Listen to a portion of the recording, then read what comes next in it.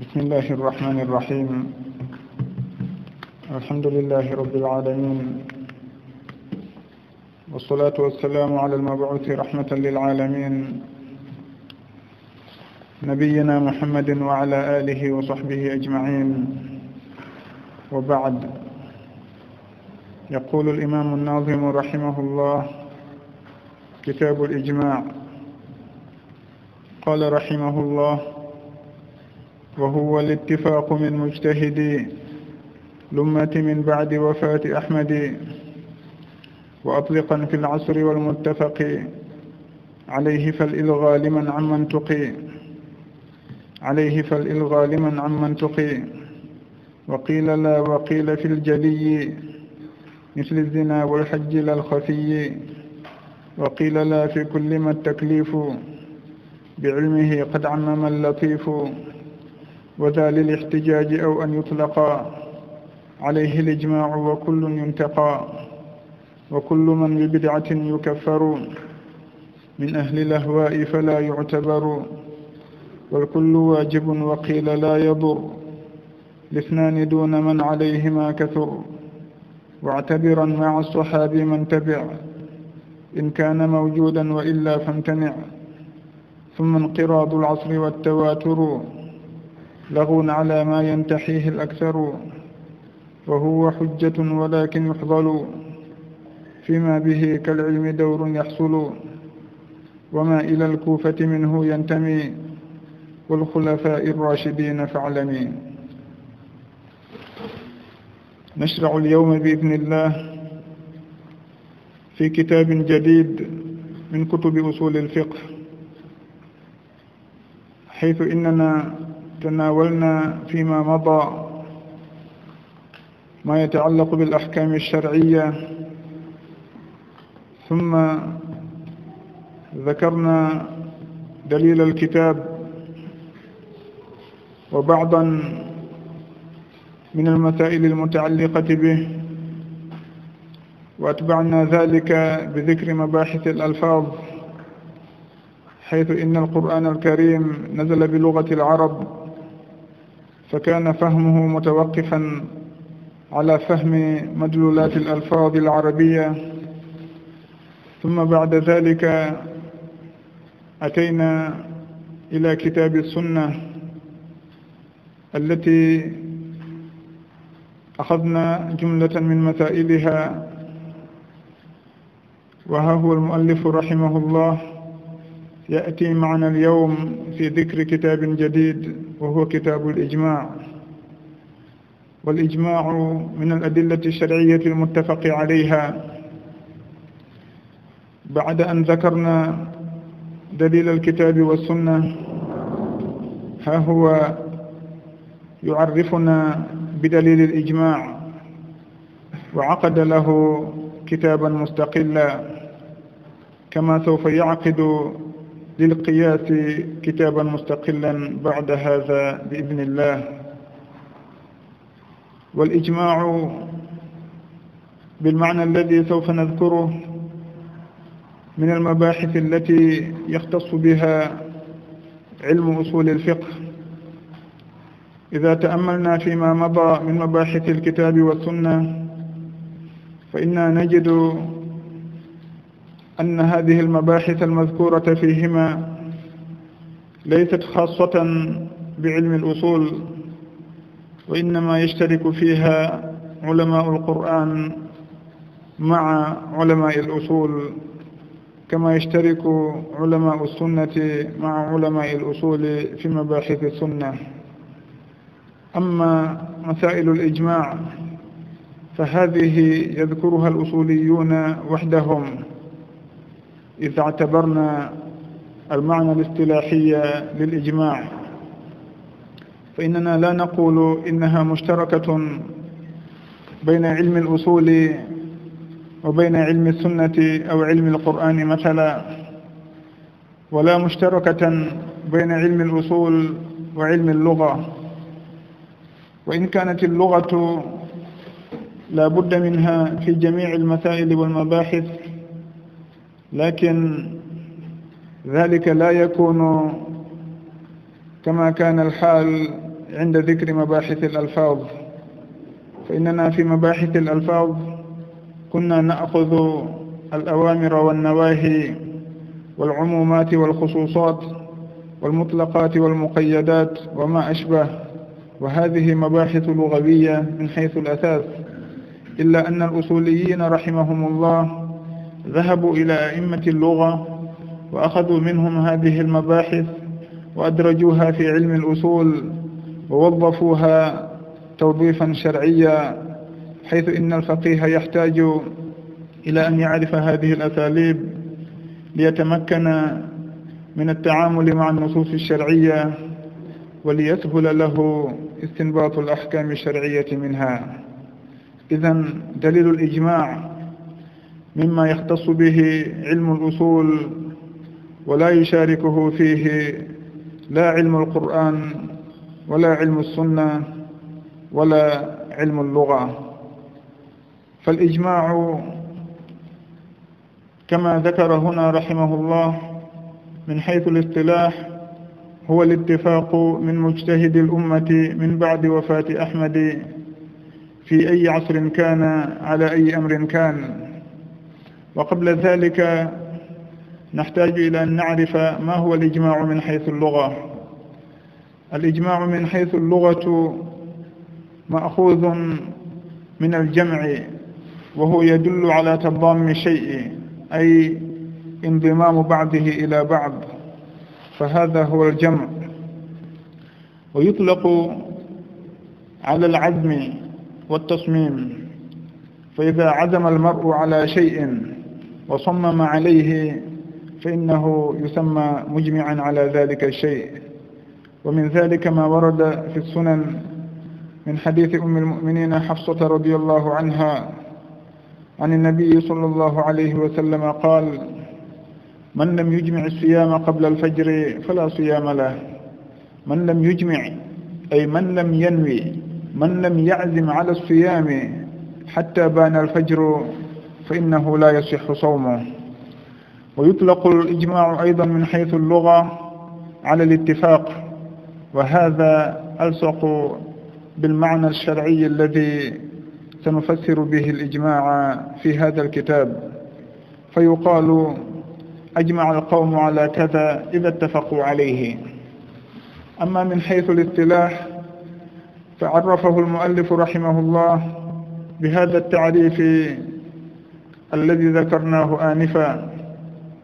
فقال رحمه الله وهو الاتفاق من مجتهد الأمة من بعد وفاة أحمد وأطلقا في العصر والمتفق عليه. معنى هذا أن الإجماع هو اتفاق المجتهدين من أمة محمد صلى الله عليه وسلم ويقصد بالأمة هنا أمة الإجابة.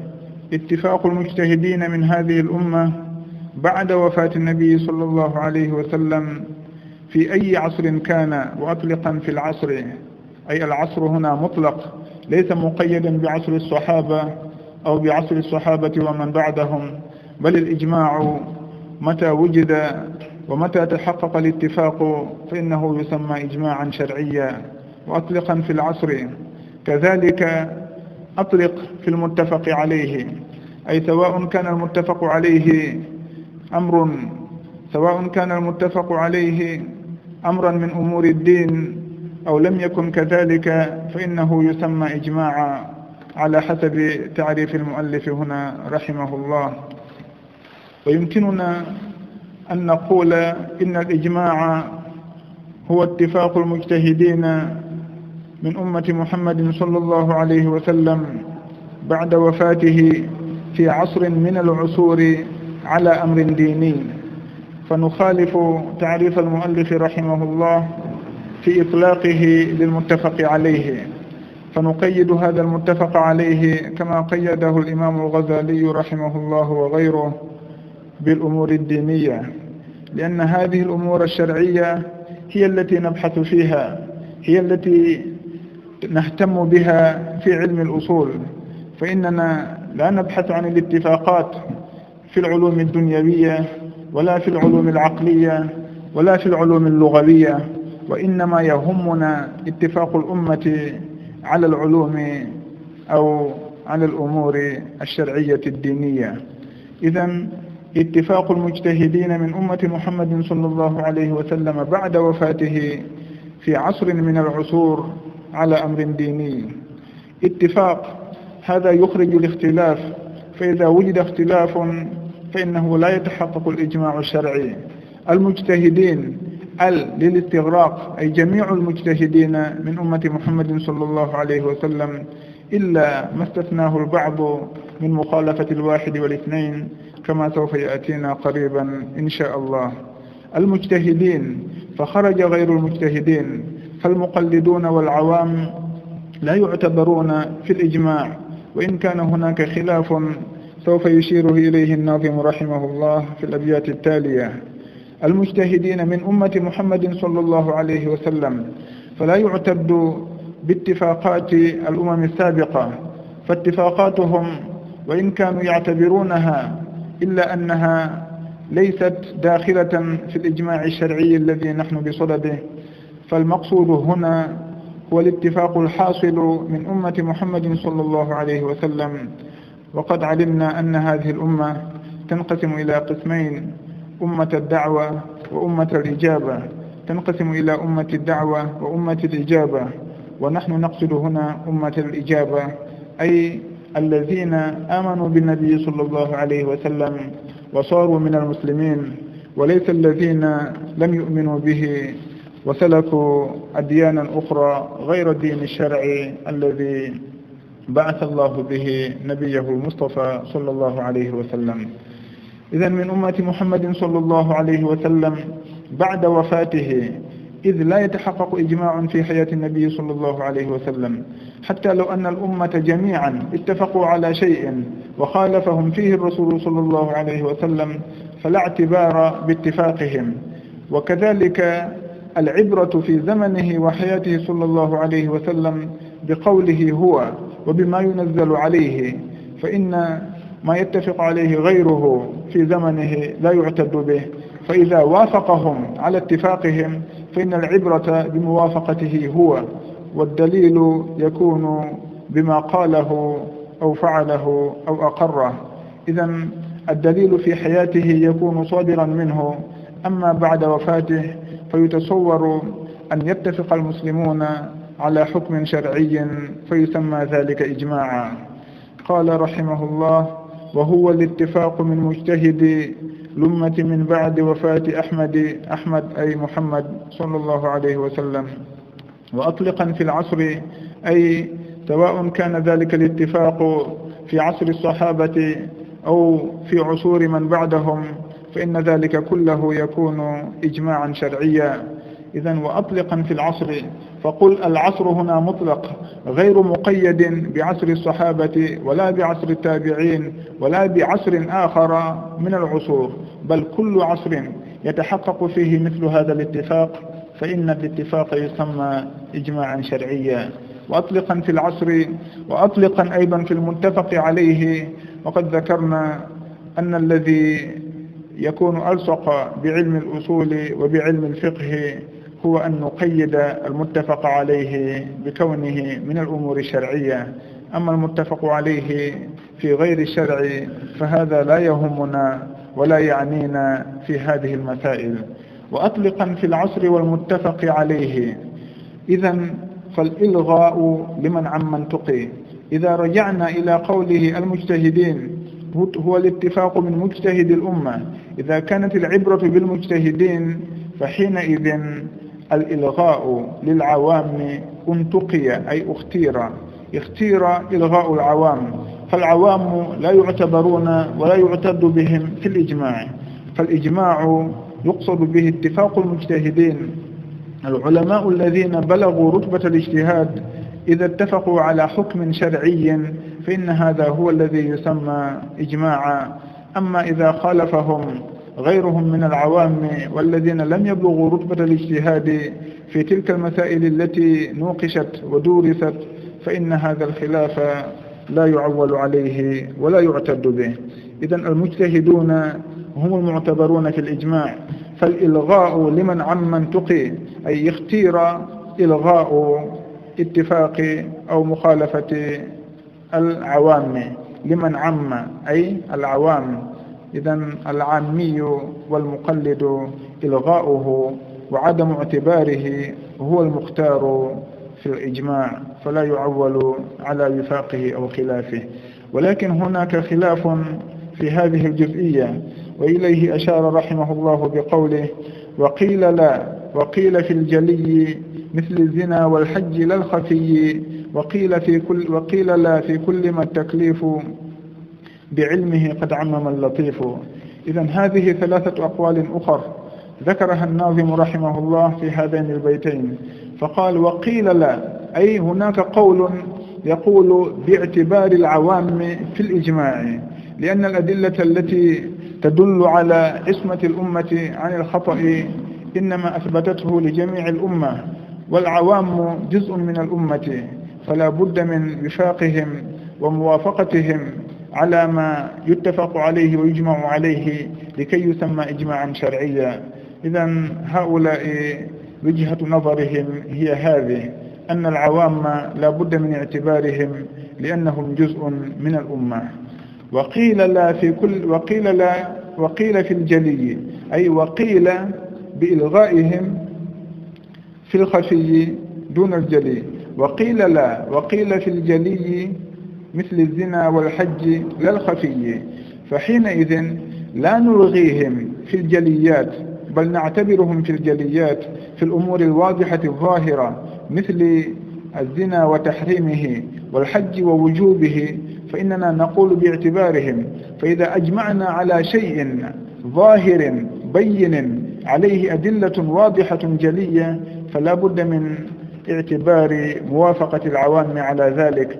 أما إذا خالفنا في هذه الأمور الواضحة البينة فلا يسمى اتفاق من اتفق عليه إجماعا وإن كان المتفقون من المجتهدين خاصة. إذا هذا هو القول الثالث في المسألة وهو قوله هنا رحمه الله وقيل في الجلي مثل الزنا والحج لا الخفي. ذكر شيئا حرمته جلية واضحة وهو الزنا وذكر شيئا آخر وجوبه جلي واضح وهو الحج. مثل الزنا والحج لا الخفي أي في المسائل الخفية لا نحتاج إلى موافقة العوام لأنهم يعجزون عن إدراكها تمام الإدراك. فإذا جئنا إلى تفاصيل مسائل الطهارة ومسائل الوضوء هل الدلك شرط من شروط الوضوء أو فرض من فروض الوضوء أو ليس فرضا ففي مثل هذه المسائل الدقيقة لا نحتاج إلى وفاق العوام. أما هل الصلاة واجبة؟ فلا بد من اتفاقهم وموافقتهم للمجتهدين لكي نسمي ذلك إجماعا. وكذلك في تفاصيل البيوع وتفاصيل مسائل الربا في مثل هذه المسائل التي يتسع فيها الكلام أو يعمق فيها النظر ويدقق فيها النظر لا نحتاج إلى إشراك العوام فيها بل يكفي أن يجتمع المجتهدون ويناقشوا هذه المسائل وهذه النوازل التي في عصورنا هذه. فإذا اتفقوا على حكم يكفي هذا الاتفاق لكي يقال إنهم أجمعوا على هذا الشيء. وإن كان العوام لا دراية لهم ولا مشاركة لهم في هذه المسائل ومدارستها. إذا هذا معنى قوله هنا رحمه الله وقيل في الجلي مثل الزنا والحج لا الخفي. ثم قال رحمه الله في القول الرابع في المسألة وقيل لا في كل ما التكليف بعلمه قد عمم اللطيف. الإمام الباجي رحمه الله جاء بقول رابع فقال لا إلغاء لا يلغى العامي في كل ما التكليف بعلمه قد عمم اللطيف. اللطيف هنا اسم من أسماء الله تعالى. ألا يعلم من خلق وهو اللطيف الخبير.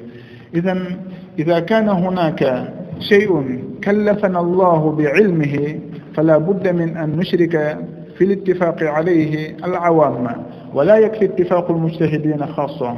فهذا معنى قوله هنا رحمه الله وقيل لا أي وقيل لا إلغاء فالإلغاء لمن عمن تقي وقيل لا لا للإلغاء لا إلغاء للعامي في كل ما التكليف به قد عمم اللطيف أي في كل ما كلفنا الله تعالى بعلمه من المسائل التي نحتاج إليها جميعا كما في مسائل الطهارة هل الطهارة واجبة؟ نعم هل الصلاة واجبة؟ نعم هل الحج واجب؟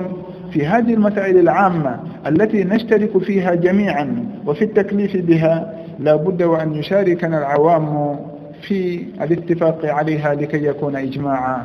لكن بقية المسائل التي لا نحتاج إليها جميعنا أو التكليف بها ليس عاما لجميع الأمة بل هناك من الأمة من ينشغل بها دون الآخرين والشارع أيضا لم يكلفنا جميعا بعلمها فهي ليست مفروضة على أعياننا فهذه المسائل نحتاج فقط إلى اتفاق المجتهدين فيها وإن لم يكن للعوام مشاركة أو كلمة في مناقشتها.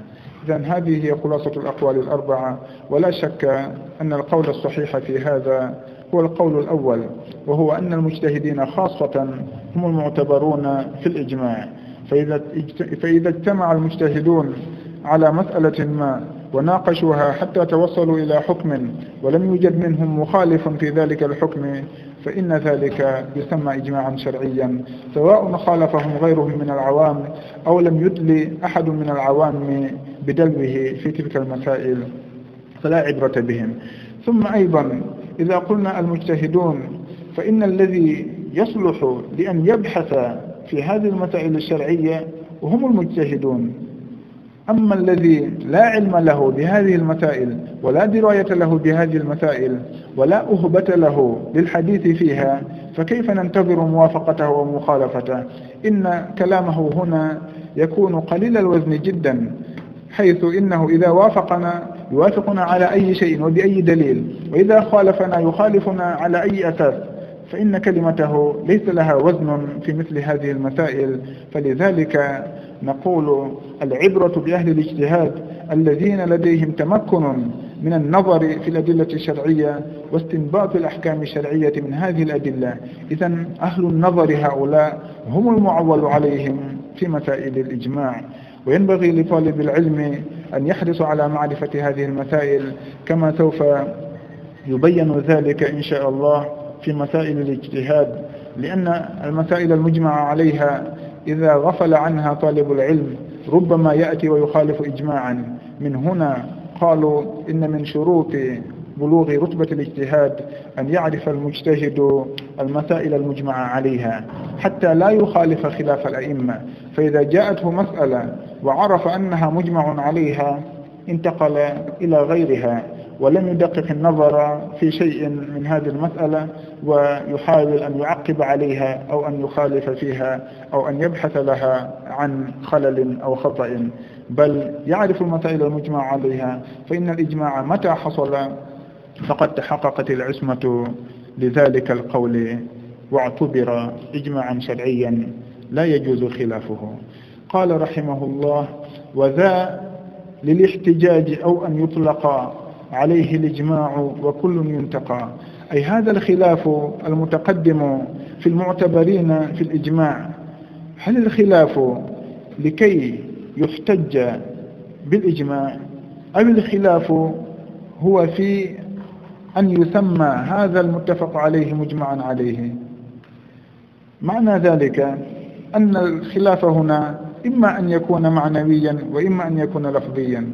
فإن قلنا إن الخلاف من أجل الاحتجاج فلا يكون الإجماع حجة إلا إذا اعتبرنا العوام مع المجتهدين فيكون الخلاف مؤثرا لأن الأولين يقولون لا يعتد بالعوام والباقون يقولون نعم نحتج بالعوام وبعضهم يفصل في ذلك. فعلى هذا القول الذي لا يعتد بالعوام يقول أنا أحتج بالإجماع الذي لم يشارك فيه العوام والذين يقولون لا بد من مشاركة العوام أو مشاركتهم في مثل المسائل الفلانية فإنهم لا يعتبرون إجماع المجتهدين خاصة حجة حتى يشاركهم العوام فيه أو في المسائل التي عينوها لذلك. إذا الاحتجاج إما أن يكون الخلاف من أجل الاحتجاج بالإجماع فهل يكون حجة مع مخالفة العوام أو لا يكون حجة مع مخالفتهم؟ على القول الأول والمختار فإن الإجماع يكون حجة حتى مع مخالفة العوام للمجتهدين. وعلى القول الثاني وما بعده لا يكون الإجماع حجة حتى يوافقهم العوام أو يوافقوهم في المسائل التي ذكروا. اشتراط موافقة العوام للمجتهدين فيها. إذا وذا للاحتجاج أي هذا الخلاف المتقدم من أجل الاحتجاج بالإجماع. أو أن يطلق أو هل الخلاف من أجل أن يسمى هذا الاتفاق إجماعا؟ فحينئذ قالوا يكون الخلاف لفظيا لأنهم إذا اتفقوا على أن إجماع المجتهدين كاف في الاحتجاج وكاف في قيام الحجية ثم بعد ذلك اختلفوا. هل يسمى إجماعا أو لا يسمى إجماعا؟ فحينئذ يكون الخلاف في التسمية فقط. إذا كان الجميع أي جميع أصحاب الأقوال الأربعة متفقين على أن الإجماع إذا صدر من المجتهدين خاصة فإنه حجة إلا أنهم اختلفوا. هل يسمى إجماعا أو لا يسمى إجماعا؟ فقال الأولون يسمى إجماعا لأن العبرة بالمجتهدين أساسا. وقال الآخرون لا يسمى إجماعا لأن هناك من من الأمة من لم يبد من لم يبدي رأيه أو من لم يعتبر خلافه فحينئذ يكون الخلاف لفظيا لأن العبرة فقط هنا بالتسمية. فهؤلاء سموه إجماعا وهؤلاء لم يسموه لم يسموه إجماعا واتفقوا جميعا على أنه حجة نظرا إلى أن المجتهدين قد اتفقوا على هذا الحكم الشرعي. إذا على القول الأول أي وذا للاحتجاج. على هذا القول إذا أو على هذا القسم إذا قلنا إن الإجماع اختلف في اعتبار العوام فيه وهذا الاختلاف إنما هو من أجل معرفة هل الإجماع حجة أو ليس بحجة فحينئذ نقول هو حجة. على الذين يقولون لا عبرة بالعوام يكون حجة عندهم. أما الذين يقولون لا بد من اعتبار العوام فلا يكون حجة حتى يوافقهم العوام. القسم الثاني أنهم أننا نقول الاختلاف هذا في اعتبار العوام هل هو من أجل تسمية هذا الاتفاق إجماعا أو أنه ليس بإجماع؟ إذا كان هذا هو الخلاف فحينئذ لا معنى للخلاف وهو خلاف لفظي لأنه لا يؤثر لأنهم جميعا يكونون متفقين على الاحتجاج بالإجماع وإن اختلفوا في تسمية هذا الاتفاق إجماعا. فمتى اتفق المجتهدون على شيء؟ احتجوا به وسماه الأولون إجماعا ولم يسمه الآخرون إجماعا لعدم دخول العوام فيه. إذا هذا هو حاصل ما ذكره رحمه الله في هذا البيت. ثم قال رحمه الله وكل من ببدعة يكفر من أهل الأهواء فلا يعتبر. وكل من ببدعة يكفر من أهل الأهواء فلا يعتبر. إذا إذا علمنا أن العوام اختلف في اعتبارهم وأن الصحيح عدم اعتبارهم في مسائل الإجماع نأتي إلى مسألة أخرى وهي المبتدع. هل يعتد بقوله؟ فالمبتدع قسمان هو على قسمين إما أن يكون مبتدعا بدعة مكفرة وتخرجه من الملة وإما أن يكون مبتدعا ببدعة مفسقة لا تخرجه من الملة.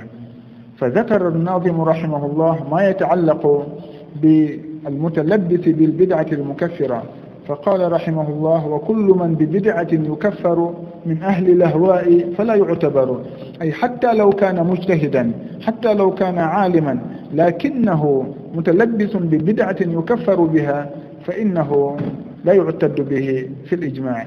ذلك أن الإجماع أو أن الاجتهاد من الأمور التي نتعبد الله بها لأننا نجتهد في إثبات أحكام شرعية. وهذا الكافر ليس من أهل التعبد فحينئذ لا يعول على قوله. إذا الكافر ببدعته لا يعتد به في الاجتهاد والإجماع. قالوا هذا بلا خلاف كما حكاه الإمام الآمدي رحمه الله. إذا كل من ببدعته يكفر فلا عبرة به في الإجماع بلا خلاف. لكن الذي يفسق ببدعته هل يعتد بقوله أو لا يعتد بقوله؟ إذا خالف الجماهير وخالف المجتهدين فهل يعتد بخلافه أو لا يعتد به؟ ذهب القاضي أبو يعلى رحمه الله إلى أنه لا يعتد بهذا الفاسق ببدعته ونسب ذلك إلى الأكثر أي أن الفاسق ببدعته المفسق ببدعته لا يعتبر قوله في الإجماع. في القسم الأول الكافر ببدعته هذا كما في الرافضة والشيع الشيعة فهؤلاء مكفرون ببدعهم التي أحدثوها وبأقوالهم التي قالوها ونسبوها إلى الدين وبما في ذلك من الغلو في الأولياء وتنزيل الأئمة تنزيلهم منازل منزلة الله تعالى وإشراكهم بالله تعالى في هذه الألوهية وإلى غير ذلك مما يقولونه في حق أئمتهم الذين يعددونهم ويحصرونهم. فهؤلاء لا عبرة بهم أصلا في مسائل الدين ولا يعول على خلافهم أو وفاقهم في مسائل الشرع. أما الذي يفسق ببدعته فيكون مسلما نعم لكنه متلبس ببدعة يفسق بها هو متلبس بشيء محدث لم يأتي الشرع به. فهل نقبل قوله أو لا نقبل قوله في مسائل الإجماع؟ فإذا خالف هل نعتد بخلافه اختلفوا في هذه المسألة كما أشرنا قبل قليل. يذهب القاضي أبو يعلى رحمه الله وينسب إلى الأكثر بأنه لا يقبل ويستدل هؤلاء بنحو قول الله تعالى وكذلك جعلناكم أمة وسطا لتكونوا شهداء على الناس ويكون الرسول عليكم شهيدا قالوا الوسط أي العدل فغير العدل لا يعتد به وليست له شهادة على الآخرين. وكذلك قول الله تعالى كنتم خير أمة أخرجت للناس تأمرون بالمعروف وتنهون عن المنكر والمبتدع على العكس هو يأمر بالمنكر وينهى عن المعروف فحينئذ لا اعتداد به. لكن أجيب على الاستدلال بهذه الآيات بأنه يلزم من ذلك أن الأمة هم جميعا وسط. وكذلك جعلناكم أمة وسطا. إذا جميع الأمة وسط هذا يلزم من من هذا الاستدلال. فنقول لهم لا والأمر ليس كذلك. ليس جميع الأمة عدولا. إذا المقصود هنا جملة الأمة وليس آحد الأمة وأفرادهم. وكذلك في قولهم هنا على قول الله تعالى كنتم خير أمة أخرجت للناس. نقول نعم حتى الذي يأمر بالمنكر ولا يكون فاسقا ولا يكون مبتدعا. إذا أمر بمنكر فإنه لا يطاع في ذلك المنكر لأنه لا طاعة لمخلوق في معصية الخالق. فنحن لا لا نعتد بأمره للمنكر أو نهي عن المعروف فلا نعول على ذلك. فحينئذ ليس هناك استدلال أو ليس هناك دلالة واضحة من هذه النصوص على إسقاط المبتدع المفسق ببدعته في الإجماع. أما القول الثاني فيقول إنهم معتبرون في الإجماع كما هو اختيار الإمام الغزالي رحمه الله والآمدي من الشافعية والإمام ابن الحاجب من المالكية والشيخ محب الله بن عبد الشكور من الحنفية صاحب مسلم الثبوت. فهؤلاء رحمهم الله وغيرهم يقولون بأنه معتبر أي المفسق ببدعته يعتبر في الإجماع لأنه من الأمة. ولكن بتحرير هذا القول يمكننا أن نقول إذا وجد الخلاف في مسألة تتعلق ببدعته فإنه لا يعتبر قوله في لا يعتبر قوله في هذه المسألة لأنه يكون فيها متهما قد يغلبه هواه فيقول بما يرجح كفته أو بما يدعم به هواه وإن لم يكن مبنيا على أساس صحيح. إذا نقول الفاسق ببدعته يقبل قوله فيما لا يتعلق ببدعته وذلك لأنه من أهل الاجتهاد. وما يدرينا أنه في هذه المسألة التي نبحث فيها ما يدرينا أن قوله هو الصواب فيها. فحينئذ لا سبيل إلى إلغاء قوله نظرا إلى فسقه في أمور أخرى. إذا كانت المسألة تتعلق بفسقه بشيء الذي فسق به فنعم لا نعتبر قوله هنا. لو أنه جاء في مسألة من المحدثات كما في بعض الاحتفالات فأراد أن يقررها فإننا لا نعتد بقوله هناك ونعتد باتفاق أهل السنة ونعتبر اتفاق الذين لم يتلبسوا ببدعة في تلك المسألة. أما إذا كان هذا المبتدع نزيها في تلك المسألة لا تتعلق ببدعته فلا سبيل إلى إبعاده. أو الإعراض عن مخالفته إذا خالف لأن الصواب قد يكون في كلامه وحينئذ لا يصدق أن الأمة أجمعت مع وجود خلافه. قال رحمه الله وكل من ببدعة يكفر من أهل الأهواء فلا يعتبر فعلمنا أن المبتدع على قسمين المبتدع ببدعة يكفر بها والمبتدع ببدعة يفسق بها. ثم إن البدعة كما عرفها الإمام الشاطبي رحمه الله في الاعتصام هي عبارة عن طريقة في الدين مخترعة تضاهي الشرعية يقصد بالسلوك عليها المبالغة في التعبد لله تعالى. فهذه هي شؤون البدع. هذا هو شأن البدع. فإنهم دائما ينظرون إلى شيء مشروع في الأصل ثم يبالغون فيه ويزيدون فيه أمورا. ليست واردة في النصوص الشرعية الصحيحة. ثم قال رحمه الله والكل واجب وقيل لا يضر لاثنان دون من عليهما كثر في بداية الدرس قال رحمه الله وهو, وهو الاتفاق من مجتهد الأمة مجتهد, مجتهد الأمة أي جميع مجتهد الأمة لأن هذا مضاف وإذا عرف إلى معرفة فيكون من ألفاظ العموم كما تقدم. المضاف إلى المعرفة يكون عاما ولكن هل نعتبر هذا العموم على هذا الظاهر فيكون جميع المجتهدين مشترطا اتفاقهم على هذا الكلام وموافقتهم في هذه المسألة؟ أو إذا خالف واحد أو اثنان فإننا لا نعتبر خلافهم ونعتد باتفاق الآخرين ونسمي ذلك إجماعا. قال رحمه الله والكل واجب أي اتفاق الكل اتفاق جميع المجتهدين بحيث لا يشذ عنهم أحد. هذا واجب عند الجمهور. الجمهور يقولون لا بد من اتفاق جميع المجتهدين. والكل واجب.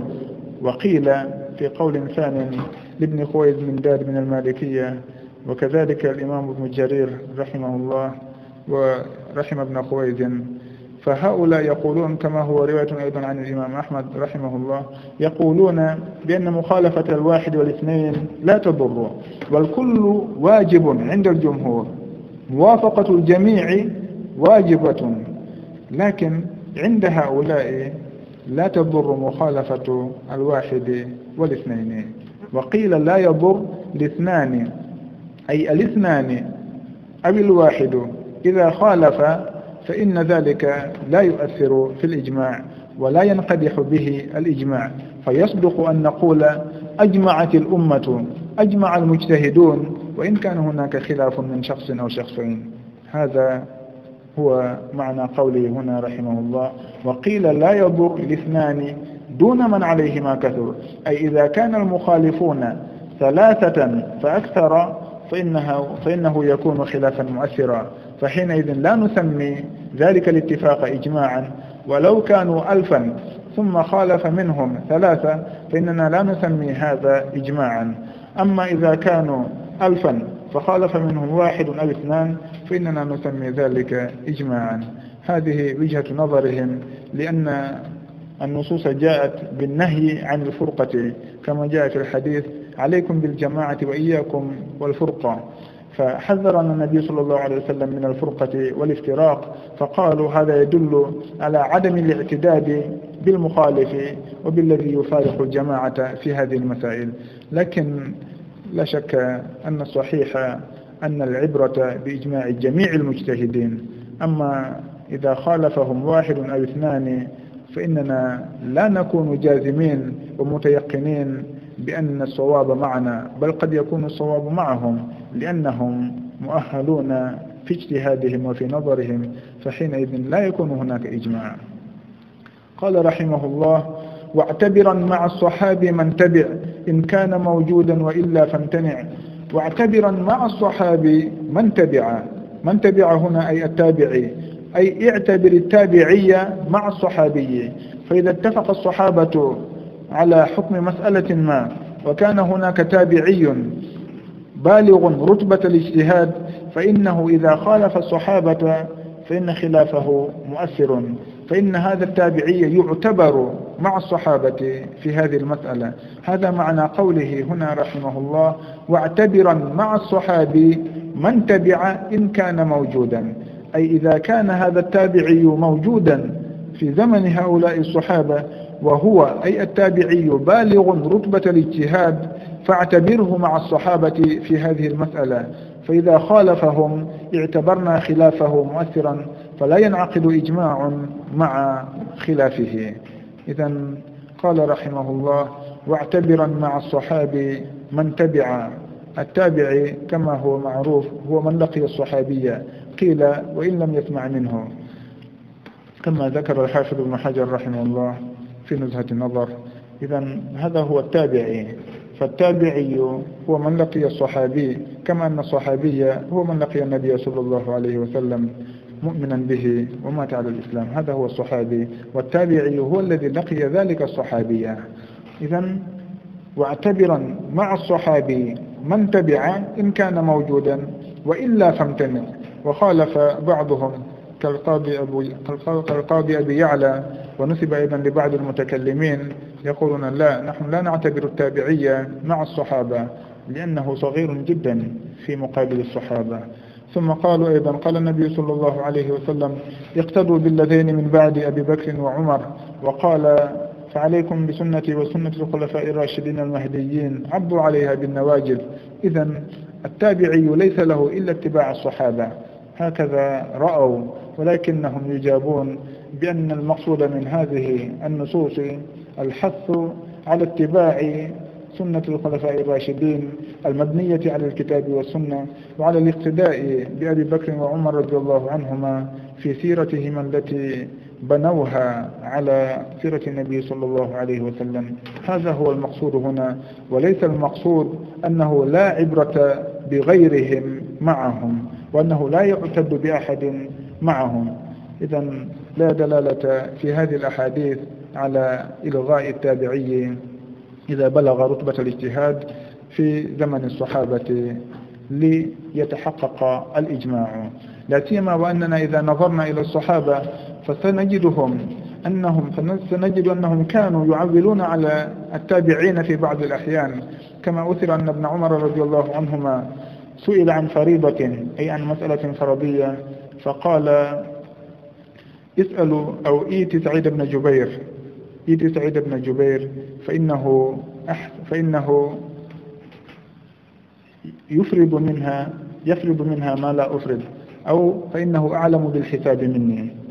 نقول إيت سعيد بن جبير فإنه أعلم بالحساب مني وإنه يفرض منها ما أفرض أو أكثر أو أحسن مما أفرض إذا فهنا هذا الصحابي وهو عبد الله بن عمر رضي الله عنهما أحال إلى سعيد بن جبير رحمه الله.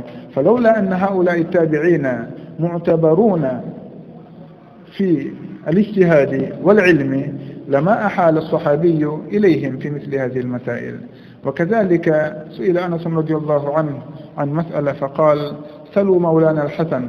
فقالوا له يا أبا حمزة نسألك فتقول لنا سلوا مولانا الحسن. يا أبا حمزة وأنس بن مالك رضي الله عنه كنيته. قال نسألك فتحيلنا إلى الحسن رحمه الله.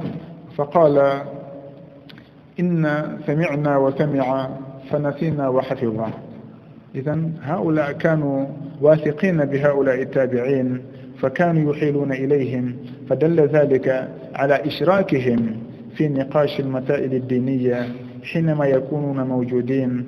ويكونون بالغين رتبة الاجتهاد في تلك المسائل. قال رحمه الله واعتبرا مع الصحابي من تبع إن كان موجودا وإلا فامتنع. أي إذا لم يكن هذا الصحابي هذا التابعي موجودا أو كان موجودا ولكنه ليس بالغا رتبة, رتبة الاجتهاد ليس عالما بما فيه كفاية للنظر في هذه المسألة المتناقشة فإنه يمتنع اعتباره في هذه الحالة. وإلا فامتنع. ثم انقراض العصر والتواتر لغو على ما ينتحيه الأكثر. أي انقراض العصر أي فناء وانتهاء عصر المجمعين. اعتبار ذلك لتحقق الإجماع ليس شرطا. لا نقول إننا في عام 1900 أو 1439 للهجرة. إذا اتفقنا الآن على مسألة ما فلا بد من أن ينتهي عصرنا جميعا حتى لا يوجد منا أحد لكي نقول انعقد الإجماع على حكم هذه المسألة الفلانية. لأن جميع المجمعين قد ماتوا وانتهى عصرهم. لا نقول ذلك. هذا معنى قوله هنا رحمه الله. ثم انقراض أي اندثار وانتهاء عصر المجمعين هذا لغو أي لا يشترط. اشتراطه لغو. هذا لا يعتبر به ولا ينظر إلى الاشتراط لذلك. ثم انقراض العصر والتواتر. أي وكذلك لا يشترط في المجمعين أن يبلغوا عدد التواتر. فلو أن ثلاثة أشخاص كانوا هم المجتهدين كلهم في ذلك الزمان فاتفقوا على حكم مسألة ما ولم يوجد غيرهم من المجتهدين فإن ذلك يسمى إجماعا. ولا يشترط أن يكون المجمعون بالغين عدد التواتر إذا ثم انقراض العصر والتواتر اشتراطهما لغو على ما ينتحيه أي على ما يذهب إليه ويختاره الأكثر أي الجماهير. ثم انقراض العصر والتواتر لغو على ما ينتحيه الأكثر. وهناك خلاف لبعض العلماء في هاتين المسألتين فبعضهم يعتبر انقراض العصر لكن هذا ليس صحيحا ولا مستقيما كما سوف نبينه في البيت التالي في أدلة الاحتجاج. قال رحمه الله وهو حجة ولكن يحضل فيما به كالعلم دور يحصل. وهو حجة أي الإجماع حجة الإجماع حجة شرعية دليل من الأدلة الشرعية التي نستدل بها ونحتج بها ومما يدل على ذلك الكتاب والسنة والوقوع. فمن الكتاب قول الله تعالى ومن يشاقق الرسول ومن يشاقق الرسول من بعد ما تبين له الهدى ويتبع غير سبيل المؤمنين نوله ما تولى ونسله جهنم وساءت مصيرا. قال تعالى ويتبع غير سبيل المسلمين. ويتبع غير سبيل المؤمنين. ومن يشاقق الرسول من بعد ما تبين له الهدى ويتبع غير سبيل المؤمنين. إذا توعد الله تعالى على اتباع غير سبيل المؤمنين أي على مخالفة سبيل المؤمنين. فإذا ذهب المؤمنون وذهب المسلمون إلى قول ما واتبعوا حكما معينا فجاء شخص آخر وخالفهم في ذلك الذي ذهبوا إليه فإنه متوعد ومهدد. وذلك أي ذلك التهديد والتوعد لا يكون إلا على ترك واجب أو فعل محظور. فهذا توعد على اتباع غير سبيل المؤمنين أي على مخالفة المؤمنين. فدل ذلك على أن المؤمنين وعلى أن المسلمين وعلى أن المجتهدين من المؤمنين إذا اتفقوا على شيء فإنه لا يجوز لأحد آخر أن يأتي ويخرم هذا الاتفاق أو أن ينحو منحا آخر غير منحاهم. وقال النبي صلى الله عليه وسلم من السنة لا يزال طائفة من أمتي ظاهرين حتى يأتي أمر الله وهم ظاهرون. في هذا الحديث قالوا إنه أصرح أو أصح شيء استدل به من السنة على حجية الإجماع. ما هو وجه الاستدلال من هذا الحديث؟ لا يزال طائفة من أمتي ظاهرين أو لا تزال طائفة من أمتي ظاهرين على الحق لا يضرهم من خذلهم ولا من خالفهم حتى يأتي أمر الله تبارك وتعالى وهم ظاهرون. على اختلاف الروايات هذا الحديث يدل على أنه لا يمكن أن يجتمع الناس جميعا على الخطأ. كيف ذلك؟ لأنه إذا كانت هناك طائفة ظاهرة على الحق فإنه لا يتصور أن يتفق الجميع على الباطل وتوافقهم أيضا هذه الطائفة على ذلك الباطل. بل لا بد وأن يكون من الأمة من ينطق بالحق من يظهر بالحق. لا تزال طائفة من أمتي ظاهرين على الحق. إذا بوجود هذه الطائفة لا يمكن الاجتماع على الضلالة لا يمكن الاجتماع على الخطأ. فإذا اتفق الناس جميعا على حكم ما ولم يوجد منهم مخالف فذلك دليل على أن هذا الحكم صحيح وصواب. وإلا إذا كان خطأ أو ضلالا فلا بد وأن يكون هناك من يبين هذا الخطأ والضلال لوجود هذه الطائفة. لأنه يقول لا يزال طائفة من أمة ظاهرين لا نقول إن هذه الطائفة دائما تكون في أشخاص بأعيانهم. قد يكون هذا هو الذي يبين الصواب في هذه المرة وقد يكون شخص آخر أو طائفة أخرى أو جماعة أخرى هم الذين يبينون الصواب في مرة أخرى. ولكن لا يتحقق اتفاق على باطل. بما أن هناك دائما من يظهر الحق فلا يمكن أن يجتمع الجميع على باطل. فمتى تحقق اجتماع على كلمة واحدة فذلك يدل على أن هذه الكلمة كلمة سواء وكلمة صواب. يعني هذا هو وجه الاستدلال من هذا الحديث. إذا هذا الدليل أيضا يدل على حجية الإجماع. فالأمة معصومة من الاجتماع على الضلالة. جاء في بعض الأحاديث لا تجتمع أمتي على ضلالة وما أشبه لكن يقولون هي أحاديث ضعيفة إلا أن معنى هذا الحديث الصحيح الذي ذكرناه هنا يؤكد معاني تلك الأحاديث الضعيفة. فلا يمكن أن تجتمع الأمة على ضلال ولا يمكن أن تجتمع الأمة على خطأ لأنه لا بد أن يكون هناك دائما طائفة ظاهرة على الحق لا بد أن يكون هناك من يبين الحق ومن يصوب الخطأ ويقوم الاعوجاج إذا حصل في المسائل. أما الوقوع فما أكثر المسائل التي فما أكثر المسائل التي اتفق عليها العلماء وأجمعوا عليها. من ذلك ما هو واضح جلي كما في وجوب الصلوات المفروضة. ومن ذلك المسائل المتعلقة بالعبادات كذلك المعاملات والمسائل التي يطلع عليها أهل الاختصاص في البحث في مسائل الفقه. وإذا قرأنا كتب الإجماع فإننا نقف على كثير من المسائل التي أجمعوا على أحكامها كما أجمعوا على حرمة ربا الفضل بعد زمن ابن عباس رضي الله عنهما وأجمعوا أيضا على حرمة ربا النسيئة وما أشبه ذلك من تحريم نكاح المتعة بعد مضي ابن عباس أيضا رضي الله عنهما. إذا هذه مسائل أجمعوا عليها فالإجماع واقع وحاصل ولا أدل على الجواز من الوقوع. فالوقوع دليل على الجواز وزيادة. قال رحمه الله وهو حجة. إذا الإجماع حجة شرعية خلافا للنظام أبي إبراهيم أو أبو إسحاق إبراهيم النظام. هذا من رؤوس المعتزلة. زعم أن الإجماع ليس بحجة. وخلافا للشيعة أيضا يقولون أن الإجماع ليس بحجة ولا يعتد بأقوالهم أصلا في مثل هذا. إذا الإجماع حجة كما دلت عليه الأدلة الواضحة من الكتاب والسنة والواقع ولكن يفضل فيما به كالعلم دور يحصل. المؤلف رحمه الله هنا جنب الصواب غفر الله له. يقول الإجماع حجة ولكن يفضل أي يمنع الاحتجاج بالإجماع فيما يحصل به الدور.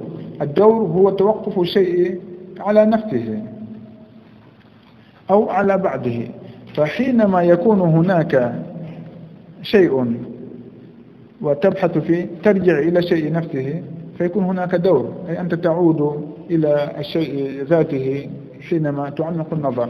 قالوا كالعلم. العلم من صفات الله تعالى والقدرة والإرادة والحياة والوجود. فهذه الصفات من صفات الله تعالى. قالوا إنه لا يتحقق الإجماع عليها. هم قالوا إنها تثبت بالعقل. قالوا ما هو وجه الدور هنا؟ أن علم الله تعالى مثلا إذا قلنا نحن مجمعون على أن الله متصف بالعلم كيف علمنا أن الإجماع حجة؟ من النصوص الشرعية. إذا النصوص الشرعية هي التي عرفتنا بأن الإجماع حجة وها نحن نحتج بالإجماع على مصدر النصوص الشرعية. إذا فكأننا نستدل بالإجماع على وجود الله تعالى أو ثبوت صفة العلم له مع أن ثبوت الإجماع صادر من من الشرع نفسه من الشارع نفسه. فلو لم يكن هناك دليل من الشارع على حجة الإجماع لما قلنا بحجة الإجماع. فالآن نحن نقول الإجماع قائم على أن الله عليم على أنه متصف, متصف بالعلم وبالحياة. طيب الله هو الذي أخبرنا بأن الإجماع حجة. والآن نحن نقول نحن نجمع على أنه موجود أو حي. فكأن هناك دورا نحن نأتي إلى الإجماع نثبت به شيئا هو مصدر الإجماع نفسه. قالوا يكون هناك شيء من الدوران والإنسان حينما يقرأ ما يقولونه في هذا هذا متوقف على الإرادة وقدرة وكذا وكذا. هو بنفسه يسوي دوار في الرأس. لكن نحن نقول الإجماع نحن أولا نؤمن بأن الله تعالى موجود والآيات على على ذلك كثيرة البراهين على ذلك واضحة جلية. ثم عرفنا بأن الإجماع حجة وأكد لنا النبي صلى الله عليه وسلم ذلك. ثم أجمعت الأمة على ثبوت هذا وذاك سواء كان في الأمور العقدية أو كان في الأمور الفقهية والأحكام الشرعية فإنه متى حصل اتفاق على حكم ما فإن هذا هو المقصود بالإجماع. متى اتفقت الأمة على حكم ما؟ سواء كان هذا الحكم عقديا أو فقهيا فإننا نسمي هذا إجماعا. أما أن نقول إن الإجماع يتحقق في بعض المسائل الفقهية ولا يتحقق في بعض المسائل العقدية فإن هذا لا يصح ولا يستقيم. لذلك نقول قوله هنا رحمه الله ولكن يفضل فيما به كالعلم دور يحصل نقول إننا لا نعرف هنا دورا إننا نعرف أن الله أثبت لنا دليلا شرعيا فنحن نستدل بهذا الدليل الشرعي ففي كل شيء حصل الاتفاق عليه بين المجتهدين. نقول إنهم أجمعوا على كذا ولا نقول إن فيه دورا ولا امتناعا أو شيئا من هذا القبيل. ثم قال رحمه الله ولكن يفضل ما إلى الكوفة منه ينتمي وما إلى الكوفة منه ينتمي أي هذا أيضا مما يمنع فيمنع الاحتجاج بإجماع أهل الكوفة. قالوا وكذلك إجماع أهل الكوفة والبصرة. كما نعرف في فترة من الفترات كانت الكوفة مرتعا للعلم وكذلك الكوفة والبصرة لا سيما إذا جئنا فيما يتعلق باللغة مذهب البصريين مذهب الكوفيين. فالكوفة والبصرة كانتا مدينتين علميتين وقد وجد فيهما من العلماء الكثير. فإذا أجمع هؤلاء على شيء اتفقوا على حكم ما فهل نقول إن هذا إجماع أو لا نقول ذلك؟ قال رحمه الله يفضل أي يمنع كون اتفاق أهل الكوفة إجماعا فهذا لا يسمى إجماعا شرعيا. وذلك سببه واضح وهو أنهم بعض الأمة وليسوا جميع الأمة. فإذا كان هناك مجتهدون من مدن, من مدن أخرى أو بلدان أخرى فخالفوا هؤلاء أي خالفوا أهل الكوفة أو أهل البصرة فإن اتفاق أهل الكوفة والبصرة اتفاق أهل الكوفة والبصرة لا يسمى إجماعا وإن كان بعضهم قد يرجح به على كلام غيرهم لكنه لا يسمى إجماعا شرعيا. فالإجماع الشرعي والذي أثبتت النصوص والأدلة عصمة أصحابه هو الذي يكون من جميع الأمة. قال رحمه الله وما إلى الكوفة منه ينتمي والخلفاء الراشدين فاعلمي أي فاعلم أيضا أن ما ينتمي وينتسب إلى الخلفاء الراشدين لا يسمى إجماعا. فالخلفاء الراشدون أبو بكر وعمر وعثمان وعلي رضي الله عنهم إذا اتفقوا على مسألة ما فإن اتفاقهم على هذه المسألة لا يسمى إجماعا لأنهم بعض الأمة وليسوا كل الأمة والأدلة إنما أثبتت العصمة لجميع الأمة لا بعضهم وإن كان كلامهم وقولهم يقدم في الاحتجاج على كلام غيرهم إلا أن كلامهم لا يسمى إجماعا شرعيا لما علمناه من أنهم بعض الأمة. وليسوا جميع الأمة والله تعالى أعلم.